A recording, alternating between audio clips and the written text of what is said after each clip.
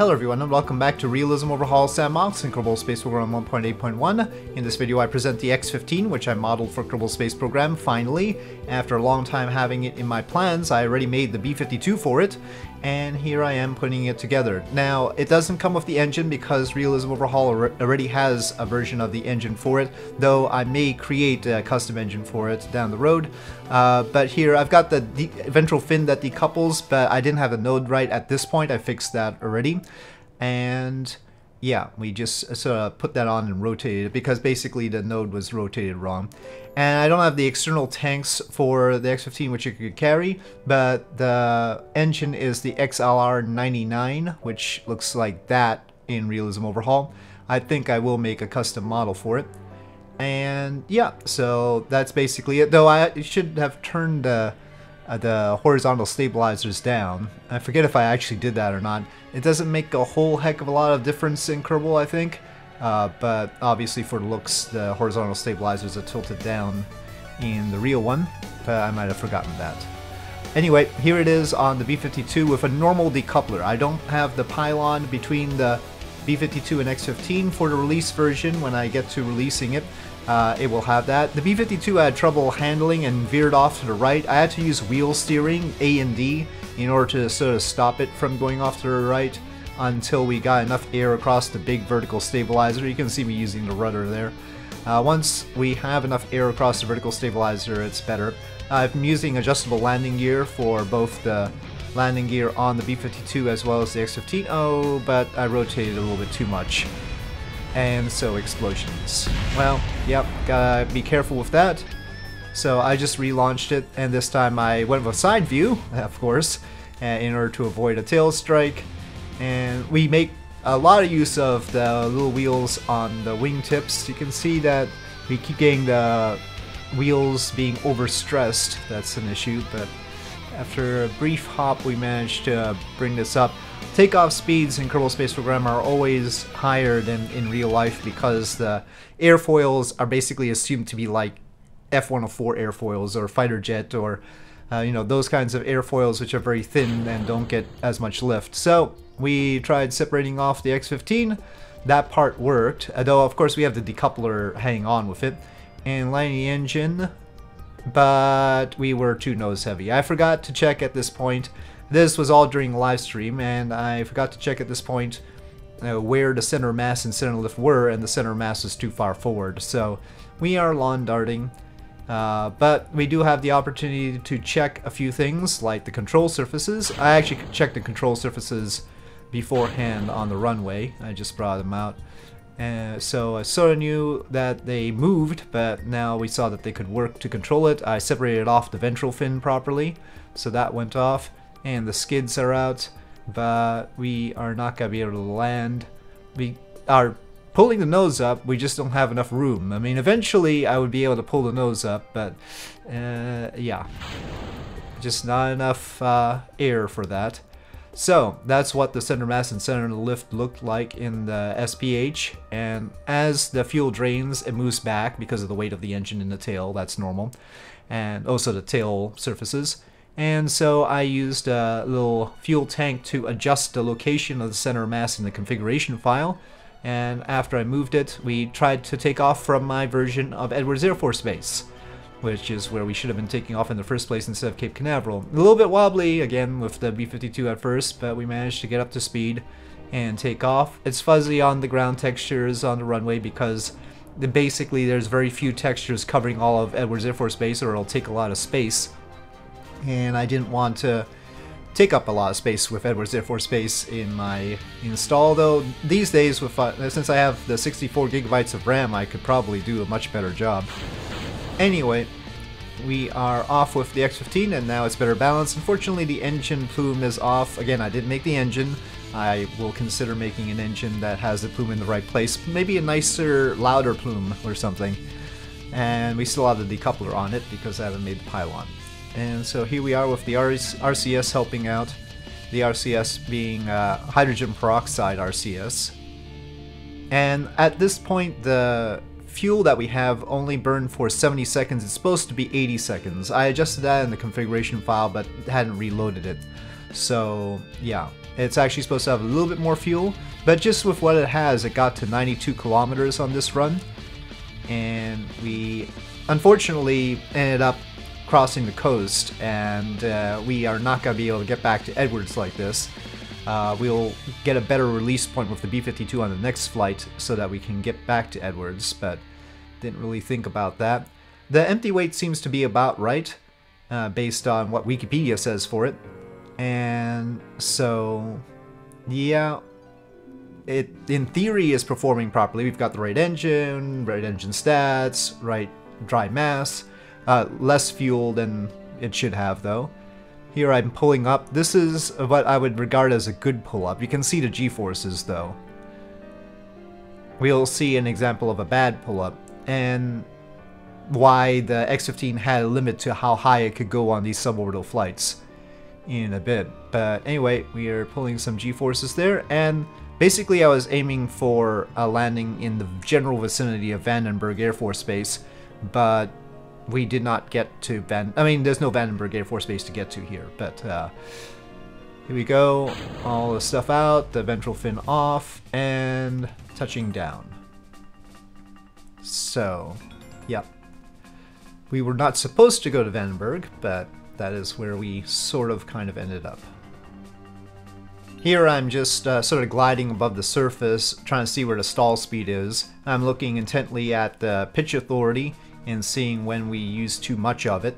And basically, as soon as I think we are reaching a limit, I, I set it down. And so here we're descending. I, I usually only want to use about 50% of the pitch. So here we're trying to get down. Speeds sort of reasonable in the for an X15 touchdown, sort of the right area. We might have had a drag chute, and but we don't. I mean, we should have added that. Also, there are split brakes on the vertical stabilizer. I've animated them. They are an animation, but they don't do anything practically yet right now. So, yeah.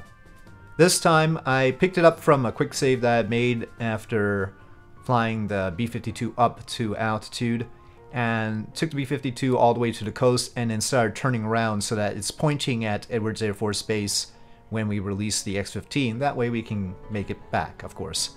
So we release the X-15 again, and off we go.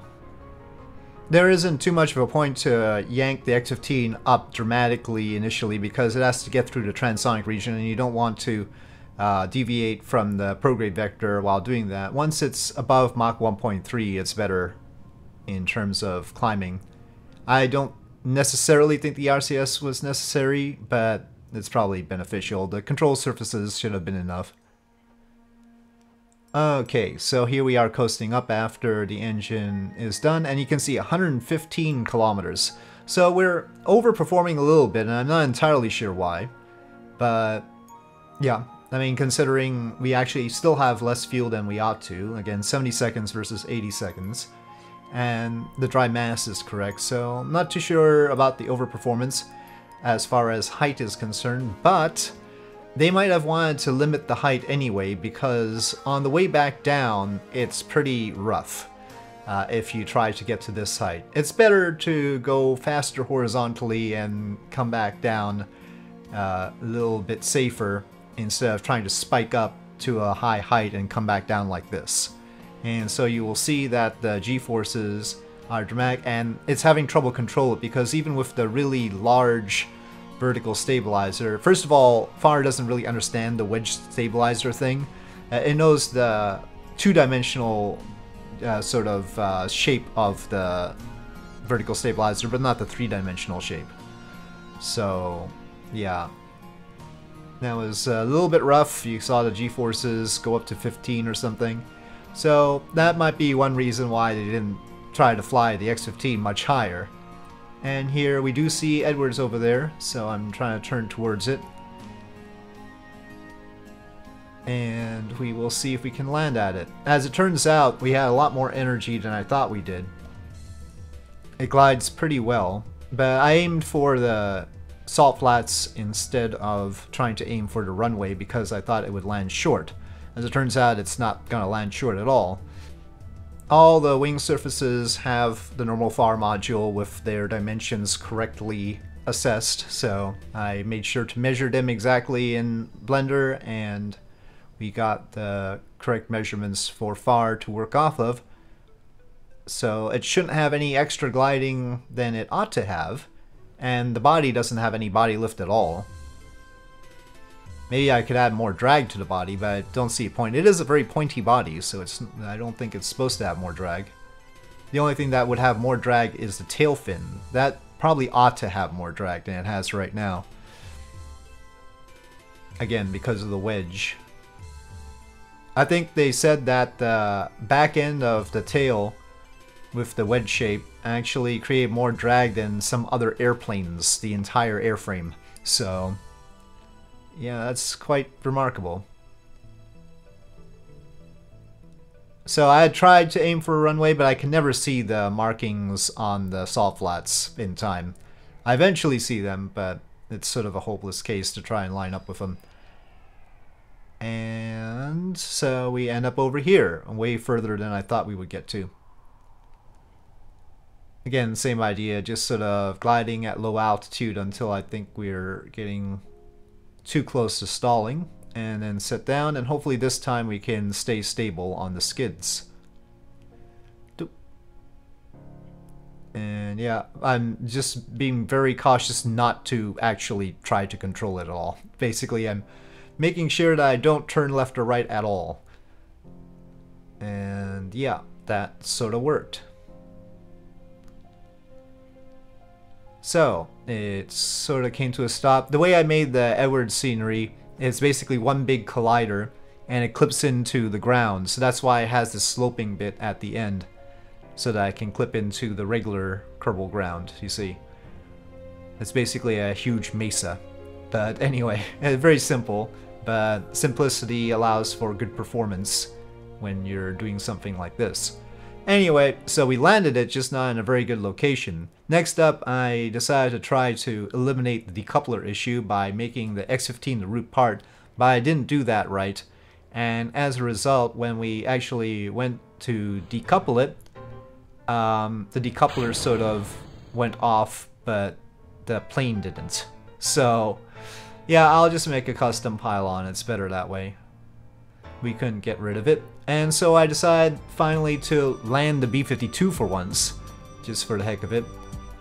So far we've been letting the B-52 crash out of sight, of course, as we focused on the X-15. And so this time we bring it down, but there's a quirk with the B-52's engines. First of all, they don't make any sound, apparently.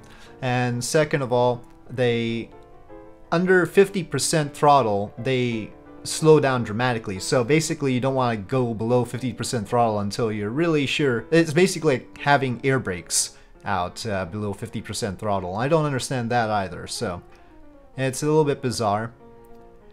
And we had some weird landing gear sounds. But anyway, we managed to land safely with B-52 though. Uh, yeah, some quirkiness there with it going on to its rear and everything but you know, this Kerbal. So I'll continue working on the X15, but so far much more success than I thought I would have on the initial testing. And we will see how it goes in the future as I add a new engine part, pylon, and the external tanks, and then I'll release it as part of my plane pack. So with that, thank you for watching. I hope you enjoyed this video. If you did, please do press like. If you have any comments or suggestions, please leave them in the comment section below, and I'll see you next time.